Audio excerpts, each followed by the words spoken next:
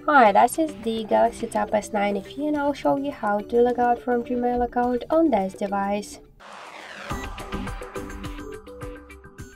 So first let's open the, the Google Gmail application.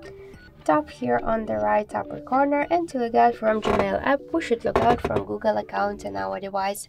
To do that, tap to manage accounts on this device, select your account and click to remove account button. Confirm your action and now we can see that we just successfully log out from the uh, Gmail app. That's why let's go back to the Gmail application and we could see that we also successfully log out from the Gmail account. So thank you for watching and if you like this video, leave thumbs up and subscribe.